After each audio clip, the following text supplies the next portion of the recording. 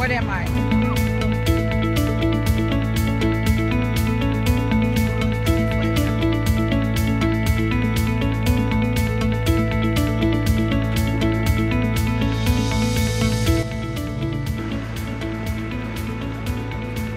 I really enjoyed spending time with my team members and learning more about Kansas City. Seeing the giant books at the library. It was the smells.